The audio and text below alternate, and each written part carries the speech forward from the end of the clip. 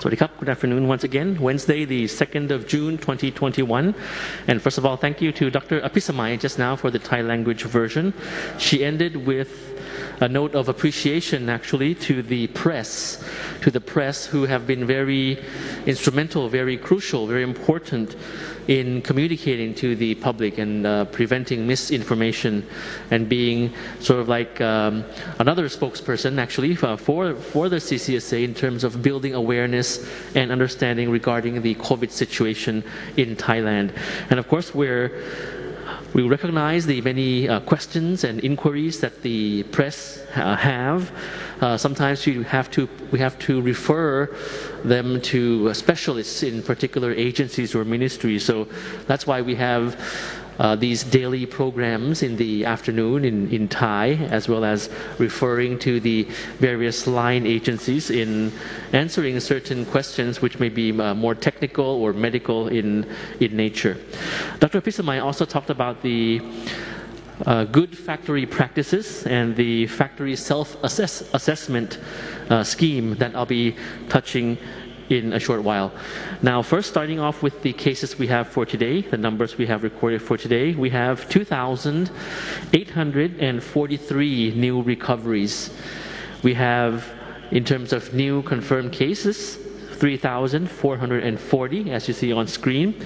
Out of this number, 1,175 cases are from local transmission, 1,163 cases are from active case finding, and 1,087 cases from within the penitentiaries, 15 coming from abroad and in the state quarantine system. So 3440 is the number of new confirmed cases we have for today.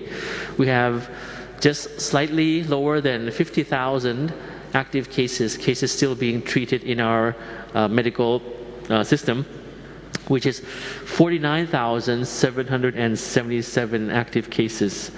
Of this number, how many, how much of this number are serious uh, cases? There are 1,247 cases in, in, in this number of patients with lung inflammation. And in this number, 381, 381 cases are patients uh, using ventilators. We have 38 new fatalities to report today, unfortunately, with sorrow making the cumulative number of fatalities in Thailand now standing at 1,107. The fatality rate in Thailand remains low at 0.67%. In terms of fatalities, the breakdown is 24 male and 14 female.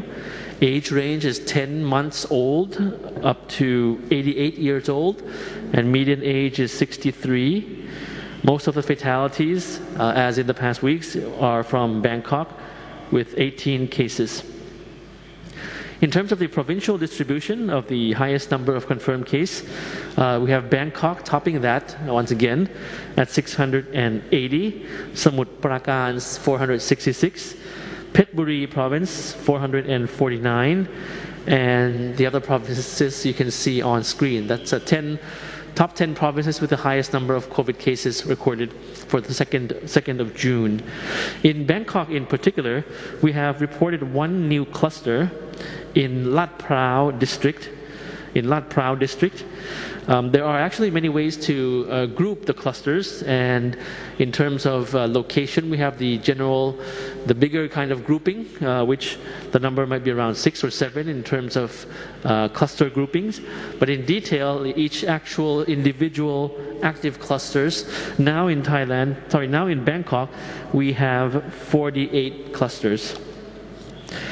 Just um, some more observations uh, from the briefing just now also that uh, factories and fresh markets remain the areas with the highest infection rates, and the disease control department had reported three reported three new clusters in factories in the provinces of Samut Prakan, Samut Sakhon, and Ayutthaya.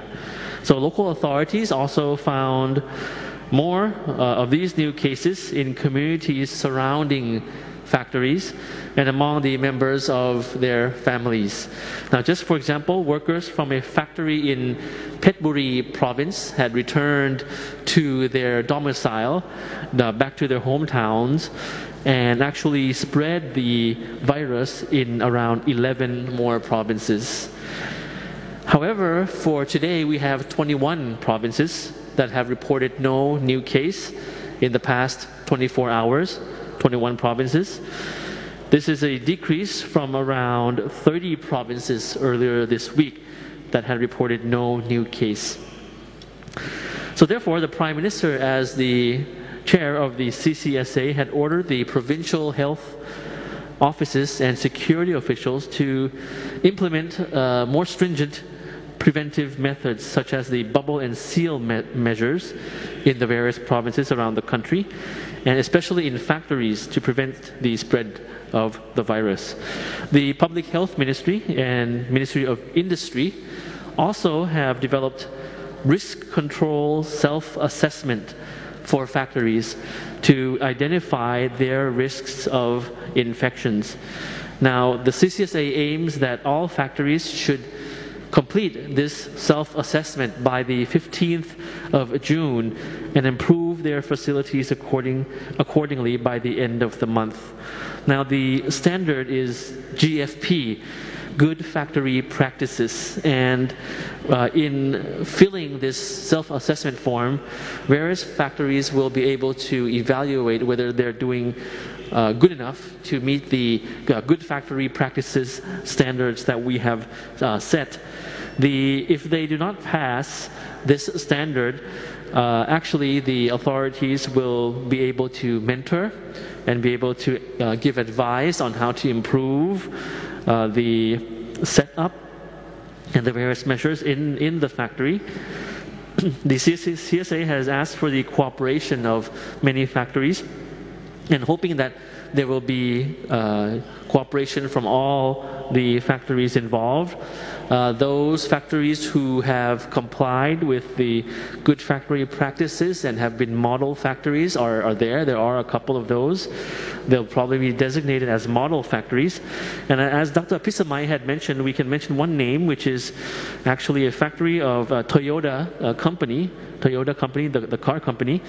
Um, that had coordinated very closely with the uh, Department of Disease Control in the past uh, months.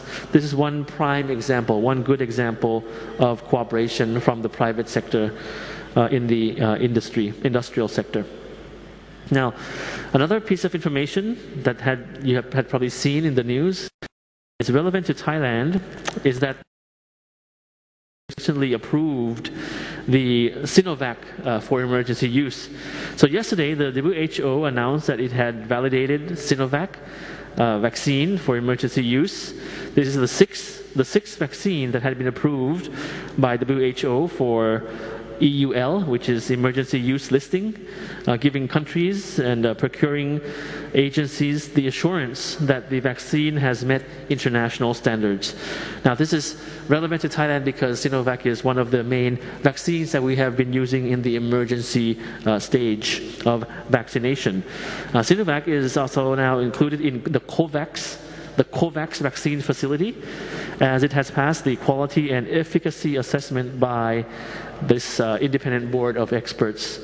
And in the report, the World Health Organization also indicates that uh, Sinovac vaccine can prevent severe symptoms and hospitalization in 100% of the studied population.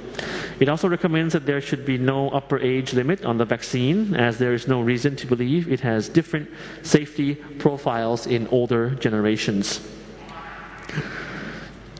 Another update is on the vaccine distribution. Yesterday, the Department of Disease Control had distributed 240,000 doses of AstraZeneca vaccine to vaccination centers nationwide.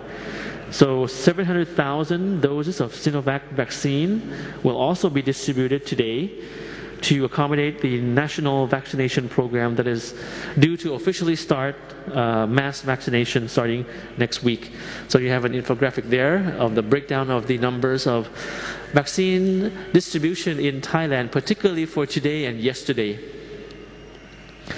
Yes, so just an additional point uh, that the current outbreak, of course, can continues to be stressful for many people. It can cause serious uh, effects on the public's uh, mental health.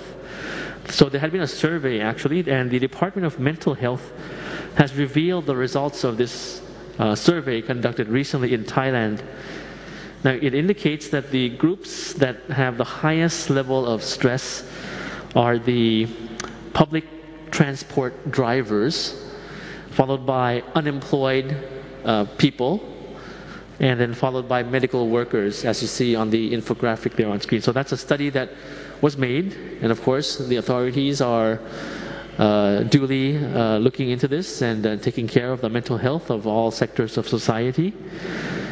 And while this, this survey also shows that people can cope with the situation better than they did last year. So that was one good result of this survey. We can cope better with stress uh, coming from COVID this year as compared to last year.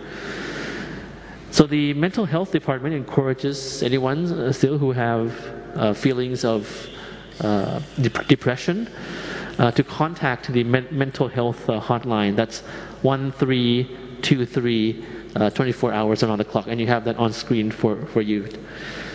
So with that, I thank you for your attention, and we'll see you again in the coming days. Sorry, crap.